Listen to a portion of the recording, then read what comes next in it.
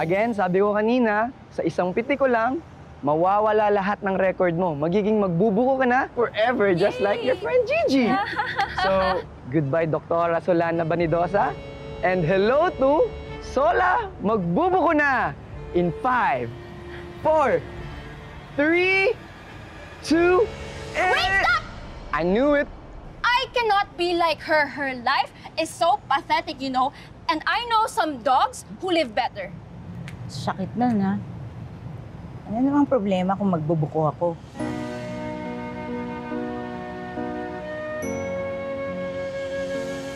About what I said earlier, O ano?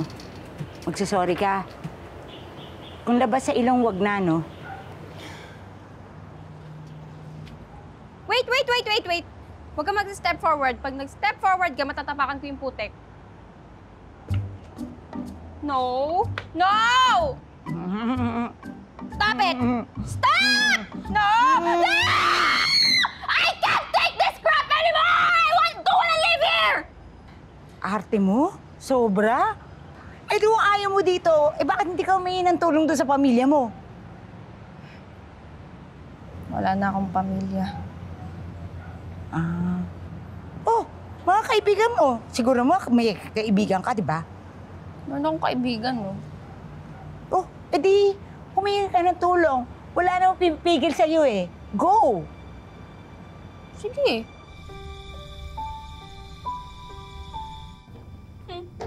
I'll show you, no?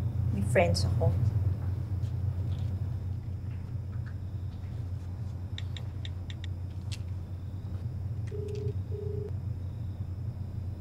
Ah. Did you just?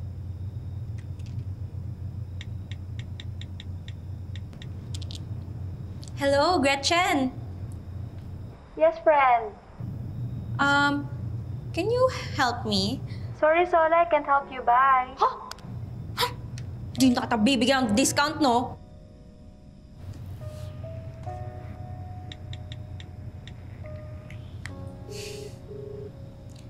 Hello, Zoe. Hi, who's this? Si Sola to. Uh, Sola who? I don't know you.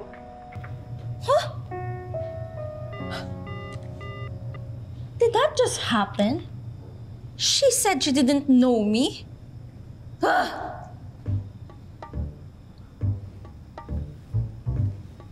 what on earth? Ah.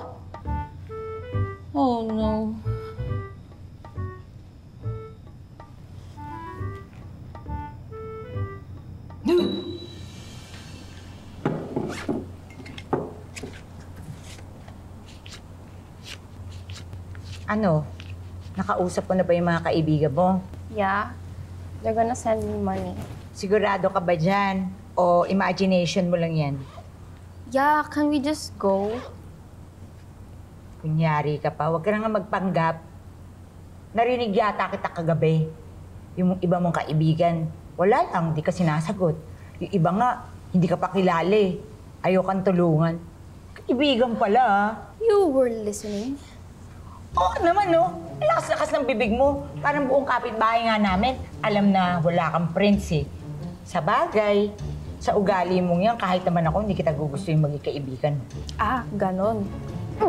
Aray ah! Hoy, nag-aaway pa rin kayo? Eto kasi! Nakikinig ka kasi! Hindi ka naman dapat nakikinig! Eh paano? Ang lakas-lakas ng buwas mo, alam hindi ko marinig. Limang araw na lang, Pasko na. Ayaw na talaga magbate, ha? Ayaw namin!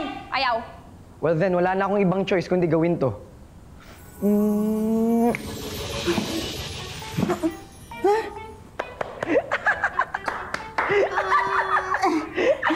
Bakit naman ang hirap-hirap nito ginagawa mo sa amin? Eh, ang tigas kasi ng ulo nyo eh. Napipiko na ako sa'yo, ah.